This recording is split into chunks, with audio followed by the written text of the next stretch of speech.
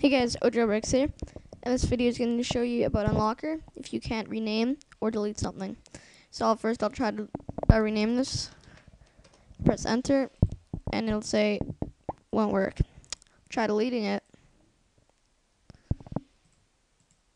So delete, yes. Try again, won't work.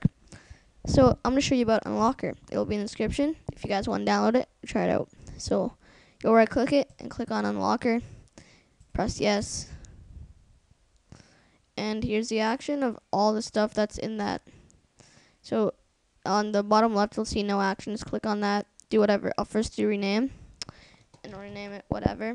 And I'll just go okay. And go click unlock. Unlock all. And as you can see, the object is renamed. Now I'll delete it. So I'll press unlocker again. Yes. And the action will be delete. Unlock, no, unlock all.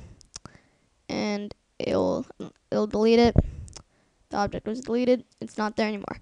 Link will be in the description, so please subscribe, rate, comment, and like this video.